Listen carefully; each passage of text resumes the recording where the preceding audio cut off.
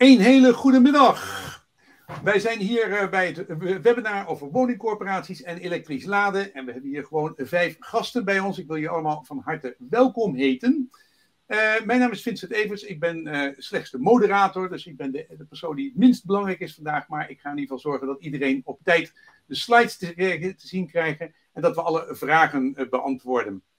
Um, allereerst ga ik jullie even vragen om um, allemaal op squiffer.com in te loggen. Vincent.squiffer.com. Dan kunnen jullie even meepraten. Kunnen we even zien wie jullie zijn. Wat jullie uh, zaken zijn. Dat ga ik zo meteen even doen. Dus vraag al even. Het linkje staat al gewoon in de, in de quote. In vincent.squiffer.com. Dat kun je in de public chat kun je dat zien. We gaan zo meteen even praten met uh, vragen bij Viviane Heijnen, staatssecretaris van MNI. Wat het belang eigenlijk is van EV's en de visie op het, uh, op het op het uh, laden eigenlijk uh, voor woningbouwcorporaties.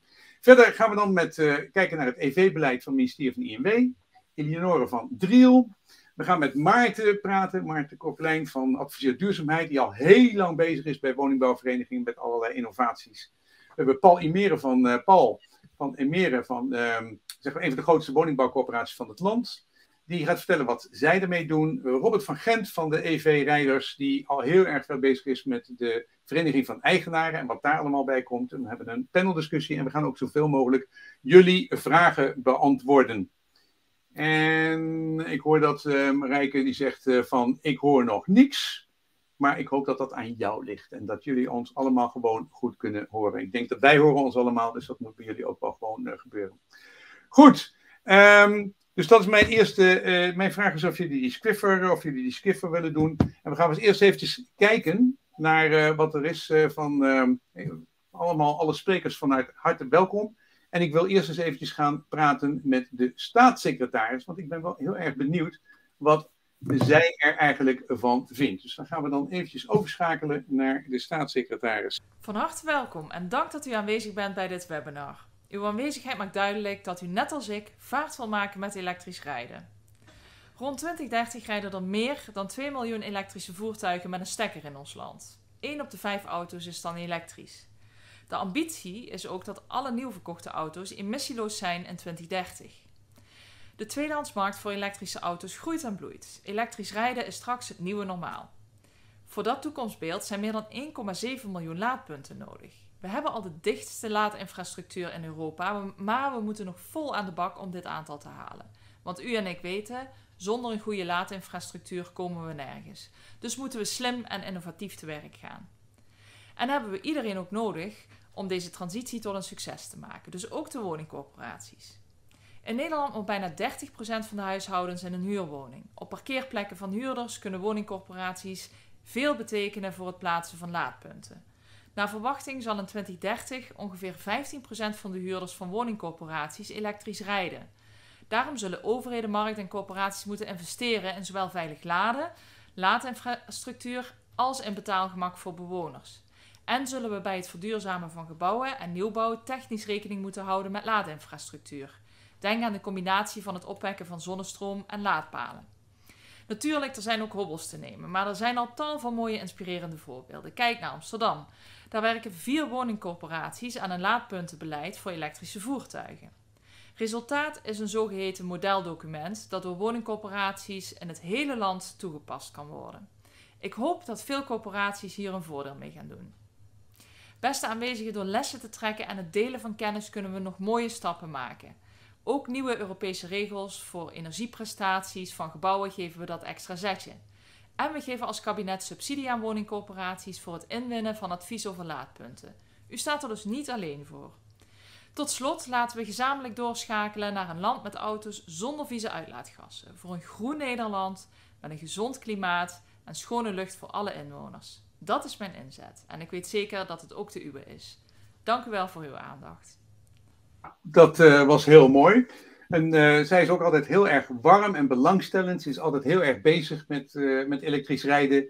En ik vind dat ze daar ook een uh, hele positieve rol in, vervult. Dus wat dat betreft, haar support, haar support hebben we. Dus dat vind ik ook inderdaad echt heel erg geweldig. Ik wilde eventjes, um, ik wilde eventjes nog kijken met wie we nou eigenlijk te maken hebben. En waarin, waar we op dit ogenblik zeg maar, ehm, waar we staan met verschillende projectleiders. Dus dan ga ik even kijken naar squiffer.com. Iedereen die kan eventjes meedoen met squiffer.com. Je moet naar vincent.squiffer.com gaan. Um, dus eerst heb ik even gevraagd, waar werk je? Nou, het grootste gedeelte, 55%, werkt bij de woningbouwcorporaties. Zitten mensen uit de EV-branche, advisering. Uh, en bewoners die zijn nergens te vinden, dus dat is inderdaad interessant. Maar daar zijn we voor aan het werk om te zorgen dat die dat kunnen doen. Dan even over uh, wat rijden jullie zelf? Uh, plofauto's, benzine, diesel, LPG. De BEV, nou, die gaat een beetje, nog een beetje meer benzineauto's. We hebben ook mensen die het OV gebruiken en de fiets is ook populair. Dus wat dat betreft, uh, maar een, uh, een goed 30% op, uh, we zitten op EV, dus dat is meer dan het gemiddelde in Nederland. niet qua verkoop, maar wel qua installed base. Wat doe je als woningbouwcorporaties met e elektrisch laden? Nou, een aantal is het niet van toepassing. We zijn er net mee begonnen, bezig met projecten. En er zijn al uh, gewoon mensen die EV-projecten klaar hebben. Nou, daar, daar zijn we natuurlijk heel fijn. Ze willen ook heel graag leren wat iedereen uh, zegt, uh, wat iedereen heeft geleerd. Dus we hopen dat, dat jullie de les een beetje kunnen delen. Aan de rechterkant, zeg maar, bij de comments kunnen jullie gewoon vragen stellen. En ik al die, zal die zoveel mogelijk ook tijdens de presentaties van de, of na de presentaties dat die klaar zijn, ga ik ook meteen aan, aan de vragen, aan de sprekers stellen. Oké, en dan hebben we nog inderdaad, wat hebben wij nog? We hebben een aantal vragen die we daar, uh, die we hebben voor de, die we zo meteen voor de panel ook gaan beïnvloeden. Dus je kunt hier ook gewoon vragen gaan stellen. Dus dat is heel mooi. Goed, dankjewel. Nou, dan ben ik eigenlijk heel, uh, even heel erg benieuwd naar uh, Elinor van Driel, het ministerie van Infrastructuur. En dan ga ik vragen of zij eens even kan vertellen: wat is nou het beleid? Want we zitten natuurlijk vanuit de politiek, we zitten vanuit beleid, we zitten vanuit de branche, we zitten vanuit de woningcorporaties. We gaan al die perspectieven gaan we uh, vandaag bekijken. Maar het begint inderdaad van wat is het beleid om woningcorporaties te helpen. Dus hartelijk uh, welkom, uh, Elinore van Driel. En de floor is yours. Ja, super. Hartstikke bedankt, Vincent. en welkom allemaal bij deze webinar nogmaals. Um, nou, super goed om te zien dat ongeveer de helft van de aanwezigen hier van woningcorporaties al uh, bezig zijn, in ieder geval met projecten. En ook voor de helft die er nog helemaal niet mee bezig is, um, voor wie het niet van toepassing was. Tot nu toe, uh, vandaag gaan we jullie een beetje doorheen loodsen van, joh, wat zijn nou uh, de mogelijkheden? Waarom is dit belangrijk? Maar ook, um, hoe, hoe kan je dit aanpassen, aanpakken? En hoe kan je daar ook hulp bij krijgen? Um, nou, ik werk dus bij de directie Duurzame Mobiliteit van het ministerie van Infrastructuur en Waterstaat. En daar werken we onder andere aan het beleid rondom elektrische voertuigen, um, maar dus ook bij de laadinfrastructuur en de logistiek daaromheen. En laadinfrastructuur is, zoals we net ook zagen, een redelijk uh, nieuw onderwerp voor woningcorporaties. En vandaar ook dat we vandaag deze webinar hebben georganiseerd. Um, zowel om te laten zien waarom het belangrijk is, maar ook om jullie dus een helpende hand te bieden uh, in hoe je dit kunt aanpakken als woningcorporatie. En hoe wij daar als overheid uh, graag wat steun bij bieden. Even kijken. Ja, dit gaat goed. Super. Um, nou, dus even, waarom is die laadinfrastructuur zo belangrijk? Ten eerste hebben we natuurlijk het klimaatakkoord uh, in Nederland, waarin afspraken zijn gemaakt om klimaatverandering tegen te gaan. En hierin staat onder andere ook dat de sector mobiliteit een aantal grote veranderingen moet ondergaan. Uh, waaronder ook een overstap naar elektrische auto's van fossiele auto's om die broeikasgassen te verminderen. Uh, daarnaast vraagt het schone luchtakkoord daar ook om, omdat de uitstoot voor veel gezondheidsproblemen zorgt onder Nederlanders. Um, en daar kunnen we dus ook heel veel gezondheidswinst behalen.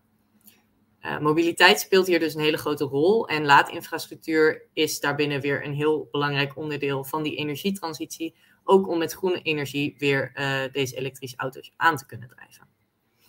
Daarnaast helpt het ook ontzettend uh, het toegankelijk maken van elektrische deelmobiliteit om vervoersarmoede tegen te gaan.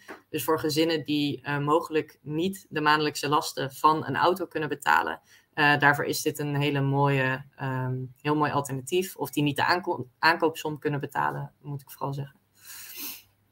Nou, in um, voorgaande jaren reden vooral zakelijke rijders veel elektrisch. Maar tegenwoordig zien we ook dat een steeds groter deel van de bevolking elektrisch is gaan rijden. Uh, onder andere doordat we goedkopere modellen hebben, maar ook uh, subsidies. En doordat de markt van tweedehands elektrische auto's nu echt uh, groei begint door te maken. En daardoor wordt het ook mogelijk voor mensen uit verschillende inkomensklassen om die overstap naar elektrisch rijden te maken. Um, oh, sorry, excuses. um, in Nederland zijn 30% van de woningen van een wooncorporatie. En de verwachting is dat in 2030 ongeveer 15% van de huurders bij woningcorporaties elektrisch rijdt. Nou, dat betekent dus dat er bij nagenoeg elke parkeerterrein of elke parkeergarage wel wensen van huurders over uh, laadpunten zullen worden ontvangen. En daarnaast komt er ook een grote groei van elektrische deelauto's binnen 10 jaar. Uh, volgens de voorspellingen van KPMG zal in 2040 de helft van alle auto's een deelauto zijn. Um, en deze deelauto's zullen ook uh, elektrisch zijn, zoals uh, is vastgelegd in de doelstellingen en het beleid vanuit de overheid.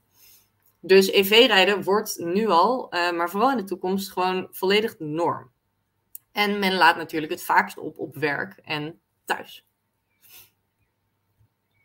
Um, dan zijn er nog verschillende ontwikkelingen op EV-gebied die bijdragen uh, aan het belang voor uh, goede laadinfrastructuur, maar ook nou ja, de ontwikkeling naar elektrisch rijden. En dat zijn uh, onder andere de zero-emissiezones voor bestelauto's en vrachtwagens vanaf 2025. Um, ehm, op dit moment zijn er al 28 steden die zero-emissiezones hebben aangekondigd. En de voorwaarde voor zo'n invoering is alleen maar dat het vier jaar uh, van tevoren door de gemeente is aangekondigd. Dus kan in elke gemeente kan zo'n zone komen. Uh, daarnaast is er wel een overgangsregeling, wat betekent dat de nieuwe bestel- en vrachtwagens die na 2025 op kenteken gezet worden, die moeten direct emissieloos zijn. Um, maar de auto's die op dit moment al um, geregistreerd staan op fossiele brandstof, daarvoor geldt uitstel. En dit is mede in het kader van de coronacrisis gedaan. Uh, en voor lichte bedrijfswagens eindigt die periode, die overgangsperiode in 2027. Voor vrachtauto's in eind 2029. Um, ehm, en particulieren met een bestelbus of vrachtauto kunnen hiervoor wel ontheffing aanvragen. Maar uiteindelijk uh, zullen ja, heel veel mensen om moeten, uh, omdat er zoveel emissieloze, emissieloze zones worden. Um, nou, daarnaast zijn er ook subsidies beschikbaar voor de aanschaf van een emissieloze bestelbus of vrachtwagen. En deze maatregel zal in veel gevallen leiden uh, voor een EV voor de zaak, dus een elektrisch voertuig voor de zaak, zoals een elektrische bestelauto. En die zullen in veel gevallen ook na werktijd mee naar huis gaan. Um, daarnaast de auto's die sowieso ook na werktijd mee naar huis gaan, zijn de taxis. Uh, en op dit moment is er ook veel stimulering om over te stappen op zero-emissie taxis. Daarnaast rijden ook rijscholen steeds vaker elektrisch, uh, waardoor mensen al vanaf het begin ervaringen krijgen met elektrisch rijden. En dat zorgt ook voor een grote toename in de keuze voor elektrisch. Op dit moment is ook uh, eh, 25% van de nieuw aankopen van auto's zijn al elektrisch. Um, en dat maakt nog steeds een ontzettende ontwikkeling door. Dus over een aantal jaren uh, zal dat een heel hoog percentage zijn. En last but not least, heel veel mensen willen ook graag elektrisch rijden.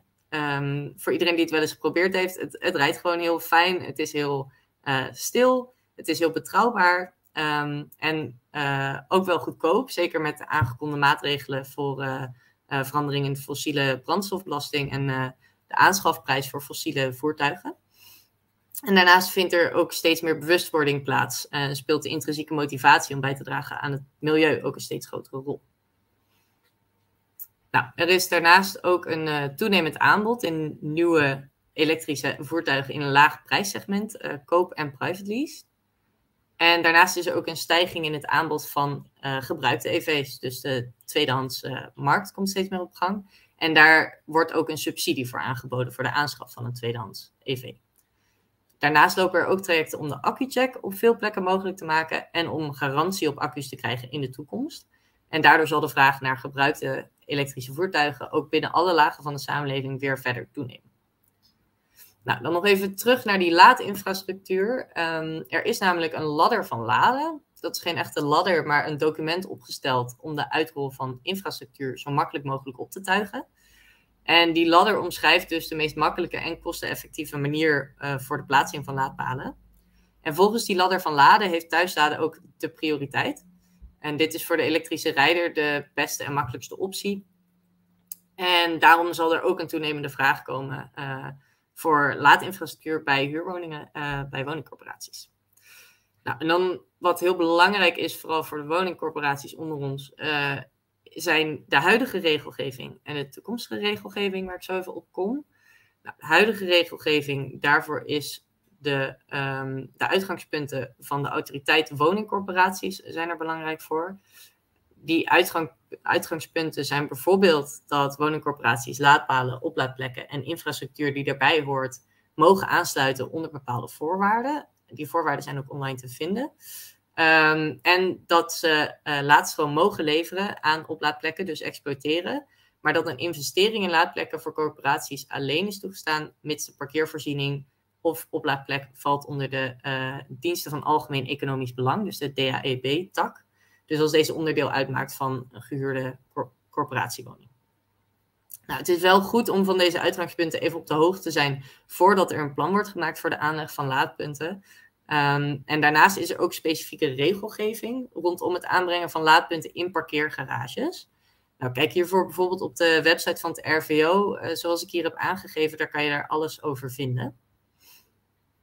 Nou, daarnaast is er ook nog toekomstige regelgeving van belang. Um, de EPBD is uh, een richtlijn opgesteld door de Europese Commissie voor um, de toekomstige energieprestatie van gebouwen. Die moet verbeteren, zodat er minder energie wordt uh, verbruikt. En in deze, in deze richtlijn staan ook systeemeisen waaraan de verbetering van de energieprestatie van technische bouwsystemen moet voldoen. Um, die richtlijn is bedoeld voor organisaties en personen die binnen de gebouwde omgeving actief zijn. Um, maar het is dus ook belangrijk om daarvan even op de hoogte te zijn. Ik heb het linkje heb ik specifiek naar de laadinfrastructuur uh, voor elektrisch vervoer, wat daarover staat opgenomen in de EPBD, um, kan je daar vinden, ook weer op de website van het RVO. En daarnaast gaat de notificatieregeling binnenkort in. En dat betekent dat voor VVE's uh, en dus ook voor gemengde VVE's, woningcorporaties, het uh, makkelijker wordt om laadpunten voor elektrische auto's aan te leggen. En VVE's kunnen daardoor ook straks geen aanvraag voor een laadpunt meer weigeren, zolang die aanvraag voldoet aan wettelijke eisen en mogelijk extra regels vanuit de uh, VVE. En elektrische rijders hoeven dus alleen nog maar te melden dat ze een laadpunt willen aanleggen. Nou, nu wil je natuurlijk graag aan de slag, maar waar vind je de juiste informatie en ondersteuning? Nou, er is voor VVE's en dus ook voor gemengde woningcorporaties, VVE's, de mogelijkheid om een subsidie aan te vragen voor het inwinnen van laadpuntenadvies. Uh, en deze subsidie kan je achteraf aanvragen via de website van het RVO. Daarnaast is meer informatie over de brandveiligheid en de algemene veiligheid van laadpunten te vinden op de website van de NAL, de Nationale Agenda Laadinfrastructuur. Daar heb ik ook een linkje naar geplaatst. Um, en daar is ook veel meer te vinden op het gebied van evenementen. Um, meer te lezen over evenementen op het gebied van laden. En daarnaast zijn er ook de websites van de VER, de Vereniging Elektrisch Rijden, uh, en de website Nederland Elektrisch. Daar zijn open, ook een hoop informatie te vinden over elektrisch rijden in het algemeen, maar ook specifiek over laadpunten bij VVE's, waarvan een groot deel van die informatie ook relevant kan zijn voor uh, woningcorporaties. Nou, ik wil jullie hartelijk danken voor jullie aandacht alvast. Uh, bij verdere vragen kunnen jullie mij mailen op dit e-mailadres. En dan uh, geef ik nu de bal weer over aan Vincent voor de volgende sprekers. Ja, nou, maar we hebben nog wel een hele hoop vragen hier. Dus wat dat betreft is dat wel even interessant. En ik denk dat een aantal daarvan die gaan we eigenlijk met het panel bespreken. Maar ik vind het wel, ik vind wel, een aantal zijn interessant. Bijvoorbeeld, vinden jullie investeren in laadinfra een kerntaak voor de BOCO's? nou, dit, dit verschilt heel erg per woningcorporatie uh, op dit moment. Het zal in de toekomst zal het wel een belangrijk onderdeel zijn. Maar we moeten ook bedenken dat um, ja, er zijn een hoop kerntaken, om het zo maar te zeggen. En sommige woningcorporaties hebben op dit moment misschien nog helemaal geen huurders die elektrisch rijden of die er überhaupt over nadenken. Nou, dan is het wel goed om hier proactief alvast over na te denken. Um, maar dan is het op dit moment natuurlijk geen, geen kerntaak. Maar dat zal heel erg verschillen. Waarschijnlijk zijn er ook woningcorporaties op dit moment die wel huurders hebben die al elektrisch rijden. En dan lijkt het mij heel belangrijk om hier alvast uh, ja, wel echt een plan voor te gaan maken. Ja, nou oké. Daar zullen we nog wel weer. Ik heb ook heel veel hele specifieke vragen. 70% regeling bij renovaties in laadpaalplaatsen is dat ook zo. Misschien kunnen we daar zo meteen even tijdens het, de, het panel over zijn, want daar, dat zijn een heleboel praktische vragen. En ik heb echt een hele bak met uh, allemaal praktische vragen. Want iedereen wil natuurlijk ook gewoon graag weten van... Gaan jullie ervoor zorgen dat de WOCO's investeringen in laadinfrastructuur gaan terugverdienen? Is dat, gaan jullie daar specifiek een apart programma voor maken dat gewoon één dingetje wordt terugverdiend? Of bedoel, dat, ik, het is wel leuk dat het gevraagd wordt, maar dat is inderdaad ik, uh, ik nou, geloof niet dat je daar uh, een garantie voor kunt afgeven uh, op dit ogenblik, of wel? Ik, ik kan er helaas geen garantie voor, voor, voor opgeven inderdaad op dit ogenblik. Ik kan wel zeggen dat we voor VVE's net eigenlijk heel veel tijd hebben gestoken daarvoor in, in beleid vanuit RVO en INW. En dat woningcorporaties eigenlijk nu een soort van aan de buurt zijn om, um, ja, om hier naar te gaan kijken. Dus het wordt op dit moment ook vanuit ons is het dus nu zeg maar een punt uh, waar we verder over op gaan kijken, naar gaan kijken. Um, en voor VVE's, dus als je gemengde woningcorporatie VVE hebt, is er echt al heel erg veel online. En ook die subsidie uh, voor laadpuntenadvies is heel erg nuttig. Dus ik zou je ook echt aanraden om daar, uh, ja, daar verder in te verdiepen. Ja, dus inderdaad, als je een VVE hebt, dan is er, is subsidie voor, voor advies. Als je gemengd bent ook. Als je woningbouwvereniging alleen bent, dan uh, moet daar nog, nog wel wat gebeuren. Wat dat betreft, de woningbouwverenigingen zijn net aan het eh, beginnen. De VVE's hebben ze daarin voorgelopen. Daar gaat zometeen, uh, Robert van Gent gaat er nog een hoop over vertellen. Over hoe dat, uh, hoe dat zit. Nou, ik denk inderdaad dat we alle, alle vragen, die, die andere, die, die schuif even door naar of bij Maarten of bij het panel. Want dat zijn dan wel hele actuele dingen. Dus dan uh, wil ik je voorlopig even vragen. Dank, dank Eleonore voor, uh, voor je bijdrage. Het is duidelijk, uh, dit zijn de kaders. En, en we hebben een heleboel voorwaarden waar die woningbouwverenigingen aan moeten voldoen. En, en, en, en voorlopig is het nog niet een pot met geld om alles even te regelen. Dat moeten ze ook gewoon binnen het gewone beleid moeten ze doen. Ik vat het even zo, zo grof samen. Ja. dat is even het, het begin. Dus dan ga ik Maarten erbij houden, Maarten Korpelijn iemand die gefokt en gemazeld is in het werken met uh, woningbouw, uh, woningcorporaties. Uh, ik ben echt gewoon, ik wil wel zien als ik woningbouwcorporatie, is dat iemand dat nog in zijn mond neemt, maar daar ben ik ouderwets in. Maar ehm, Maarten, jij bent heel lang bezig met innovatie en, en, duurzaamheid bij de woningcorporaties. Dus neem ons eens even mee van wat daar op dit ogenblik, wat daar op dit ogenblik allemaal, wat er ook allemaal gebeurt. Want ik ben echt heel, heel benieuwd daarin. En dan kom ik daarna ook nog met een hele bak met vragen bij je terug. Want iedereen is enorm. Eh, hartstikke goed. Nou, ik, uh, ik, ga mijn best doen om uh, jullie mee te nemen. Uh, goedemiddag allemaal, mijn naam is Maarten Korpelijn. Ik ben onafhankelijk adviseur. een aantal kennen mij wellicht van Zonnig Huren. Dat is een activiteit van een jaar of tien geleden om zonne-energie een boost te geven bij woningcorporaties.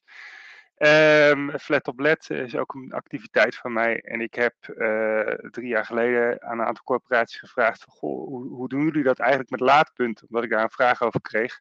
En toen zei iedereen eigenlijk: nou, geen idee.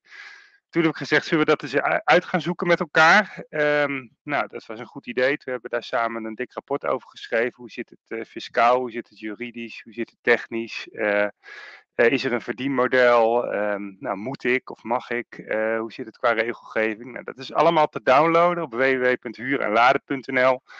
En twee jaar daarna hebben we nog een, uh, een vervolg gemaakt voor de, specifiek voor de Amsterdamse corporaties, die toch wel veel met gemengde VVE's zaten. Um, ja, en daar is een beleidsmodel uitgekomen wat jullie, uh, uh, wat jullie ook kunnen gebruiken. Ik geef deze presentatie in duo met uh, Paul Tuip. Maar misschien is het goed als ik eerst even mijn verhaal doe en dan ook wat vragen beantwoord. Dan kan Paul daarna illustreren hoe hij ermee omgaat. Um, wat ik doe is ik loop even de soorten situaties hoe mensen parkeren langs. Um, en dan begin ik even bij, bij de allermakkelijkste. het gros van de huurders heeft geen eigen parkeerplaats. die parkeren gewoon een publiek terrein. Um, uh, ofwel naast de flat, ofwel uh, gewoon bij een eengezinswoning aan de straat. dat betekent, als ze geen eigen parkeerplaats hebben, kunnen ze ook geen eigen laadpunt krijgen. punt, eigenlijk. nee, niet eigenlijk, punt. Ehm, dus dat betekent dat je als corporatie niks anders kunt doen dan dat je die huurders verwijst naar de gemeente. Uh, en dan kunnen ze aan de gemeente vragen om een publiek laadpunt te plaatsen. De gemeente heeft allerlei regels voor over wanneer dat wel en niet gebeurt en hoeveel laadpunten of hoeveel elektrisch rijders ze dan willen hebben. Um, wat je wel ziet is dat mensen een kabeltje over de stoep willen leggen. Uh, dus dat, uh, dat ze vanuit hun aansluiting op de meterkast nou, naar de straat gaan en daar een laadpunt maken. De gemeente zegt daarvan, ja, dat is wat je niet moet willen. Uh, want dan kan je allerlei gedoe krijgen met aansprakelijkheid. En als mensen struikelen. En van wie, en van wie is dat laadpunt dan? En als iemand anders op die plek gaat staan, hoe zit dat dan? Nou, de enige variant die je dan nog kunt hebben is dat mensen zeggen: Ik ga in mijn tuin parkeren, uh, want ik uh, kan geen openbaar laadpunt krijgen en ik ben dat zo zat. ik, ik, ik betegel mijn tuin en ik ga mijn auto daar parkeren. Nou, dat mag ook niet. Um, maar dus eigenlijk is de basis, je moet mensen uh, verwijzen naar de gemeente. Het is ook een taak van de gemeente om te handhaven. Hè. Het feit dat iemand een eigen groep maakt en daarmee iets door zijn tuin heen trekt, is, niet, uh, is toegestaan voor een huurder. Um, maar als iemand een laadpunt maakt op de stoep, dat is, dat is dan een probleem. En dat is dan een probleem wat zich ja, buiten jouw gebied als corporatie afspeelt. Dus alleen als mensen in de tuin gaan parkeren, is het eigenlijk iets waar je iets mee moet. Nou, dan de makkelijke situaties. Um, bij nieuwbouw en renovatie ben je uh, verplicht om loze leidingen aan te leggen. Uh, het is wel van belang om hier even op te controleren, want de praktijk is dat aannemers dit lang niet altijd doen. Um, want is echt de, EPBD-regelgeving uh, zegt loze leidingen naar elke parkeerplaats. Nou, wat je vaak ziet is dat ze één groot gat maken en dan zeggen, joh, je kan toch vanaf hier uh, met kabels aan de gang. Maar de EVB is echt vrij duidelijk. Uh, um, en we hebben ook in 2021 in dat rapport wat ik al noemde, een vrij duidelijke bijlage gemaakt van hoe kan je dat nou technisch voorbereiden bij nieuwbouw. Nou, een alternatief is dat je bij nieuwbouw zegt: ik ga meteen met niet, niet loze leidingen, maar ik ga meteen met gevulde leidingen aan de slag. Is iets duurder, maar ben je wel meteen klaar voor de toekomst. Nou, ook een makkelijke situatie, dat, dat zijn die paar in gezinswoningen die een eigen parkeerplaats hebben. Daar kan een huurder eigenlijk prima zelf investeren. Um, dat betekent dat het een SAF wordt, een zelf aangebrachte voorziening. Ook in dat rapport van 2021 zit een bijlage 18. Dat zijn richtlijnen die je zou kunnen stellen aan een SAF. Die kan je gewoon copy-pasten en dan heb je SAF-beleid voor laadpunten. Krijg je natuurlijk discussies over als huurders gaan verhuizen en van wie is dat laadpunt dan. Maar in tegenstelling tot zonnepanelen um, is, is een laadpunt, eh, en in tegenstelling tot een keuken of een nieuwe badkamer, is een laadpunt relatief makkelijk mee te nemen. Uh, dus het, is prima mogelijk om bij eengezinswoningen een ZAF te, te hebben.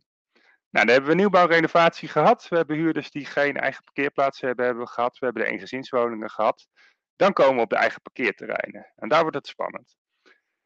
Wat je bij uh, eigen parkeerterreinen niet wilt, en wat je nu wel ziet, is dat mensen gewoon iets gaan doen. Uh, elektrische auto's die komen kriskras door de garage. En mensen die willen dat ding laden. Uh, dus wat ze dan doen, uh, of het nou een gemengde VVE is of een huurcomplex. Ze maken een laadpunt en ze trekken dat naar de collectieve meter. En ze maken daar een groep aan. Um, of, nou ja, worst case scenario bij Messonettes heb ik ook wel eens gezien dat mensen, dat mensen een, een, stroomkabel uit het raam hangen. En dan nou ja, op die manier naar een, naar een parkeerplaats toe gaan. Um, dat die, die investeringen zijn voor, uh, ja, voor de elektrische rijders heel duur. Want je hebt best wel lange kabels vaak nodig van een collectieve meterkast naar zo'n individuele plek. Het is lelijk, het is vaak onveilig, vaak zijn de kabels niet dik genoeg. En uh, wat mensen doen is dat ze één op één een groep aansluiten op de collectieve meterkast. Dus daarmee claimen ze ook één op één een stuk van die capaciteit van die collectieve meterkast. Als iedereen dat zou gaan doen, dan heb je een niet uitbreidbaar systeem. Um, daarnaast kan je de laadkosten niet automatisch afrekenen. Um, dus dit is eigenlijk iets wat je niet moet willen. Nou, wat kan je dan wel doen? Je kunt een aantal dingen doen die oplopen in investering, um, en, uh, maar ook oplopen in comfort voor de huurder. even kijken de, de basisvariant is dat je een submeterkastje maakt in, uh, in het, uh, in de, als het een garage is, een submeterkastje maakt in de garage. Dan zeg je eigenlijk, nou ik heb hier een, een voorziening gemaakt, vanaf daar kan je, dicht bij de auto's, vanaf daar kan je naar je eigen plek toe. Moet je zelf je kabel trekken, moet je zelf je laadpunt maken. Uh, moet je wel afspreken welk type laadpunten de mensen gebruiken. Want je zorgt dan dat de laadpunten eigenlijk broertje en zusje van elkaar zijn. En dat ze samen, dat is heel belangrijk, dat ze samen de capaciteit die er in de meterkast is delen.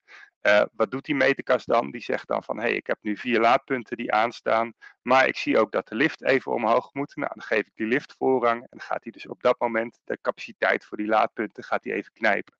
Op die manier zorg je ervoor dat je zelfs met een heleboel laadpunten nooit de capaciteit van de groepenkast uh, hoeft te overschrijden. Um, en nou, in ieder geval, uh, totdat er heel veel elektrische auto's zijn, ook geen verhoging van de vastrechtkosten hebt. Ook het automatisch afrekenen van stroomkosten kan je op die manier regelen. Het basisscenario is dus dat je zegt, nou, ik maak een kastje, nou, denk aan 5000 euro kosten. Die schrijf ik af als corporatie of als VVE. En vanaf daar is het aan de huurder of de eigenaar-bewoner. Die noemen we variant 0. Variant 1 is een truc die uh, woningcorporaties kunnen uithalen. Een parkeerplaats is, uh, is heet het, in de regel is dat een los contract wat losstaat van de huur, valt niet onder de huurbescherming. En dat betekent dat een corporatie daar een aantal dingen mee kan doen corporatie kan zeggen: vanaf volgende maand uh, zeggen wij uw contract op plek 1 op en bieden we u een contract op plek 8 aan. Op die manier kan je ervoor zorgen dat uh, alle elektrische auto's in één hoek van de garage komen te staan. Het voordeel daarvan is dat je dan kunt zeggen: Nou, dan maak ik voor elke twee of drie of vier auto's maak ik een laadpunt. En die mensen kunnen dan uh, maken gezellig een appgroepje met elkaar. En ze spreken af, jij laat op dinsdag en ik op donderdag. Of jij op woensdagmiddag en ik op vrijdagavond. Um, en op die manier kan je met een beperkte investering in een beperkt aantal laadpunten eigenlijk een heleboel mensen helpen. Um, nou, daar kan je ook een verdienmodel aan hangen. Je kunt namelijk zeggen, ik heb vanaf nu twee uh, type uh, parkeerplaatsen. Ik heb een parkeerplaats uh, A zonder laadpunt en ik heb een parkeerplaats B met laadpunt. Ik zag al een vraag over een verdienmodel. dit zou een verdienmodel kunnen zijn. Dat je zegt van voor de mensen die, die, die een plek willen die toegang heeft tot een laadpunt met een laadpas. die mensen betalen iets meer voor hun parkeerplaats. Nou, op die manier kan je de investering terugverdienen. Dat is een mogelijkheid. Eigenlijk de meest simpele mogelijkheid. Een tweede variant is de meer luxe variant, waarin je zegt, um, ja, ik, uh, en dat, dat moet bijvoorbeeld in gemengde VVE's heb je vaak dat, uh, dat mensen op een vaste plek staan en dat de eigenaar-bewoners, ja, die kunnen niet zomaar uh, op een andere plek gaan staan. Dus die zullen zeggen, ja, is leuk, maar die omwisseltruc, dat gaat voor mij als eigenaar-bewoner niet op. Wat je dan ziet, zeker bij de grotere VVE's, grotere garages, is dat er gezegd wordt, we gaan een ringleiding maken. We maken een voorziening die langs alle plekken loopt. Um, en op die plekken kan een eigenaar-bewoner of een huurder, uh, die kan daar een laadpunt in klikken. Um, nou, dat betekent dat je als corporatie of als VVE een investering heeft van ongeveer 400 euro per parkeerplaats.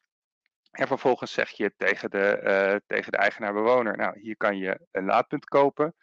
Um, en je zegt tegen de huurder, uh, ja, je kunt ook een laadpunt kopen of je kunt een laadpunt huren. Um, er zijn ook varianten mogelijk waarin je uh, een soort combinatie maakt tussen variant 1 en variant 2. Uh, eh, dat, je de dat je voor de eigenaar-bewoners die ringleiding maakt en voor de huurders ook. Maar dat je voor de huurders zegt, nou, ik zet voor elke drie huurders, doe ik één zo'n laadpunt op zo'n ringleiding. Nou, ook hier heb je een verdienmodel en dat kan dan op een aantal manieren. Um, de VVE die kan uh, het stroomtarief vaststellen en die kan dus ook zeggen ik ga, uh, ik ga meer voor de stroom vragen dan, uh, dan de ringleiding, of meer voor de stroom vragen dan de kostprijs. En op die manier verdien ik die investering in die ringleiding terug. Uh, tot nu toe zie je overigens wel dat die ringleiding, uh, meestal wordt dat gewoon via een, uh, via een dotatie eenmalig geregeld. Maar je zou dus kunnen zeggen, ehm, ja, we leggen allemaal nu in om die ringleiding mogelijk te maken, maar in de toekomst gaan de elektrisch rijders een kleine opslag betalen. Zo betalen we die, die investering terug. Nou, een derde variant um, is, uh, is dat je zegt, nee, ik ga helemaal geen investeringen nemen in ringleidingen, want ik vind dat veel te duur, die 400 euro per parkeerplaats. Maar ik heb nog wat plek over uh, in mijn garage. Of ik heb uh, een stukje groen buiten wat ik, waar, ik, waar ik toch niks mee doe. Of een plek waar vroeger afvalcontainers stonden. Of invalide parkeerplaatsen die niet nodig zijn en nooit gebruikt worden. Um, um, daar zou je kunnen zeggen, ik maak daar een voorziening uh, liefst zo ver mogelijk bij de ingang vandaan, op de minst aantrekkelijke plekken. En daar kunnen mensen, wat we dan noemen, laden en wegwijzen. Dus eigenlijk maak je een voorziening net zoals die buiten op straat is. Maar mensen kunnen komen en dan weer weggaan. Um, uh, ja, dat. Um, dat betekent dat je, dat je, je moet even kijken of je die plek echt kunt maken. en soms kan je die plek niet maken, maar heb je als verhuurder leegstand. Um, ja, dan is de vraag van wat ga je daarmee doen? Hè? Je kunt op deze manier een voorziening maken. Alleen als dat betekent dat je minder parkeerplaatsen kunt verhuren, betekent dat dus ook dat je gedorven inkomsten hebt van je parkeerplaats. Uh, nou, een grote vraag is hier hoe zit het met laadpuntkleven? Wat daarmee bedoeld wordt, is dat mensen uh, ja, gaan laden en daarna niet meer weggaan. je kunt dat technisch uh, op een aantal manieren regelen, ehm, maar je kunt er ook een financieel incentive aan hangen. Dat als mensen langer dan een bepaalde tijd aan een laadpunt staan, dat ze dan een boetetarief gaan betalen. Um, ik zit even te kijken. Um, ja, dit is eigenlijk in de basis het verhaal. Um, nou, dan is nu natuurlijk de vraag van wanneer doe ik wat. Um, nou, dat, betekent, dat is denk ik heel erg afhankelijk van de situatie. Uh, heb je een vaste, zijn het vaste of flexibele parkeerplaatsen? Hoe groot is de garage? Bij een kleine garage kan je makkelijk zo'n kastje maken en zeggen trek zelf maar je leiding. Uh, maar als het een hele grote garage is en mensen die moeten hele lange afstanden gaan overbruggen, dan ligt dat niet voor de hand. Uh, wat is de capaciteit van de meter? Wil je voor investeren? Wil je als corporatie een verdienmodel? Zijn er plekken leeg? Dat zijn een beetje de, de, de vragen die je kunt stellen. Ik heb, um, ik heb hier een soort stroomschemaatje gemaakt uh, op basis waarvan je dan uitkomt bij een van die modellen. Um, nou, als je dan kijkt naar het verdienmodel, uh, dan is eigenlijk de belangrijkste vraag is hoeveel mensen gaan samen laden op één paal. Wat je ziet in, dat, uh, in, die, in die modellen waarin je auto's kunt, de elektrische auto's kunt groeperen en ze, ze samen die laadpunten kunnen delen, daar zie je dat je de investering veel sneller terugverdient dan, dan in, een, in een scenario met een ringleiding waarin echt iedereen zijn eigen, zijn eigen paal gaat maken. want dan ga je eigenlijk een snelweg naar alle plekken aanleggen, terwijl ja, misschien over 10 jaar, misschien 15% dat ook echt gebruikt. Nou, in algemeenheid is een terugverdientijd van vijf jaar realistisch bij delen van palen. En dat, en dat terugverdienen kan dus op, eigenlijk op twee manieren. Je kunt uh, gaan spelen met de, de, de, kosten die je vraagt voor een parkeerplaats. En je kunt gaan spelen met, uh, met het laadtarief. dat laatste mag officieel alleen als je een gemengde VVE bent. Als corporatie ben je met 100%, um, 100 huurparkeerplaatsen. Ben je officieel gehouden om voor de stroom de kostprijs te vragen. Even kijken, er was nog een vraag met 70% bij renovaties. Um, ja, dat ligt heel erg aan wat je doet. Kijk, eh, formeel is het zo dat uh, bij, bij een appartementencomplex, als je daar een TL-armatuur vervangt door een LED-armatuur, dan is dat ook een wijziging van het gehuurde. En dan ben je ook gehouden om 70% instemming te vragen. Um, ik, uh, ik ben de eerste corporatie die dat doet nog niet tegengekomen. Uh, kijk, als je infrastructuur ophangt en je benadelt daar niemand mee, dan denk ik niet dat je uh, daar 70% voor op hoeft op te halen. En je kunt het zo organiseren dat alleen de, de elektrisch rijders, uh, um, ja, hoe heet het, dat de elektrisch rijders er iets van merken, ook financieel. Dus hè, het concept van de, de gebruiker betaalt. Oké, dus dat was deze vraag. Ja, je, bent, gaat er meteen, je gaat er meteen in. Als ik dan toch meteen kan doorgaan, zelf investeren in, in woongebouwen of doorbelasten, dat, is, uh, dat heb je eigenlijk al gewoon allerlei dingen voor aangegeven.